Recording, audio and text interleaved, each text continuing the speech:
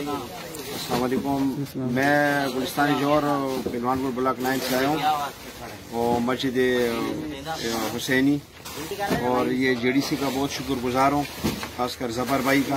बहुत बहुत शुक्रिया ताकि ये जो राशन दिया पचास लोगों का हम जाके अभी गरीब लोगों को घर घर हम पहुँचाएँगे थैंक यू